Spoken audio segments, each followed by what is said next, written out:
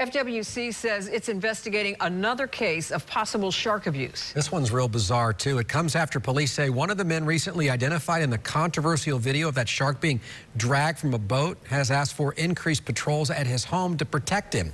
Channel 9 anchor George Estevez joins us now with more on how shark experts and wildlife officials are reacting to this new case. Well, this new investigation, Martha and, uh, sorry, Marty and Greg, involves boaters pouring what looks like a beer into a hammerhead's gills. Now, investigators are trying to find out who did it. This beautiful boy is one of our three sand tiger sharks.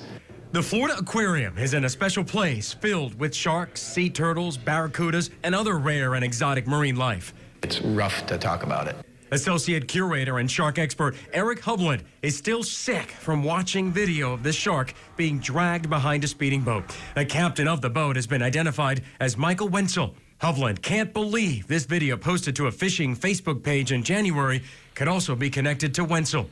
That makes it monstrous. Pouring that liquid into that shark, that shark was probably far gone or on its way out already. FWC says it is investigating the Hammerhead video, but would not identify anyone involved while there is an open and active investigation. It's already tough being a shark out there. Hovland's hopeful the kids he teaches will grow up respecting wildlife, not destroying it we get you know, hundreds of thousands of kids in our doors. And that's what inspires me and gives me hope. These folks are the exception. They truly are.